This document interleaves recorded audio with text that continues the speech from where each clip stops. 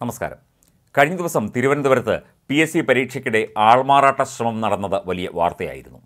Biometric സംവിധാനത്തിന്റെ പരിശോധനയ്ക്കായി ഉദ്യോഗസ്ഥൻ എത്തിയപ്പോൾ ഉദ്യോഗാർത്ഥിയായ വ്യക്തി ഇറങ്ങി ഓടി ബൈക്കിൽ കയറി രക്ഷപ്പെടുകയായിരുന്നു. പി എസ് സി പരീക്ഷയിലെ ആൾമാറാട്ട കേസിലെ പ്രതികൾക്കായി പോലീസ് ഇപ്പോൾ കസ്റ്റഡി അപേക്ഷ നൽകിയിട്ടുണ്ട്.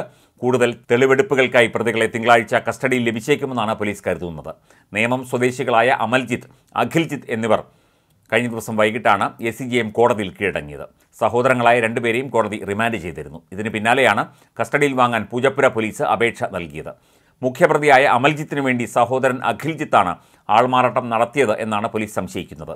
കേരള സർവകലാശാല ലാസ്റ്റ് ഗ്രേഡ് പരീക്ഷയ്ക്കിടെ പി എസ് സി വിജിലൻസ് വിഭാഗം ബയോമെട്രിക് മെഷീനുമായി പരിശോധനയ്ക്ക് എത്തിയപ്പോഴാണ് ഒരു ഉദ്യോഗാർത്ഥി ഹാളിൽ നിന്നും ഓടി രക്ഷപ്പെട്ടത്. നേമം സ്വദേശി അമൽജിത്തായിരുന്നു പരീക്ഷ എഴുതേണ്ടിയിരുന്നത്. മതിൽ ചാടിപ്പോയ ആളെ ഒരു ബൈക്കിൽ കാത്തുനിന്ന വേറൊരു വ്യക്തിയാണ് കൊണ്ടുപോയത്. ഈ വാഹനവും അമൽജിത്തിന്റെതാണ് അമൽജിത്തിന് വേണ്ടി മറ്റാരോ പരീക്ഷ എഴുതാൻ ശ്രമിച്ചു എന്നായിരുന്നു പോലീസിന്റെ സംശയം. പരീക്ഷ എഴുതാനെത്തിയത് ആരാണെന്ന് ആദ്യം തിരിച്ചറിഞ്ഞില്ല. കഴിഞ്ഞ ദിവസം അമൽജിത്തിന്റെ വീട്ടിൽ പോലീസ് പരിശോധന നടത്തിയതോടെയാണ് സഹോദരങ്ങൾ നടത്തിയ ആൾമാറാട്ടമാണ് ഇതെന്ന് തെളിഞ്ഞത്.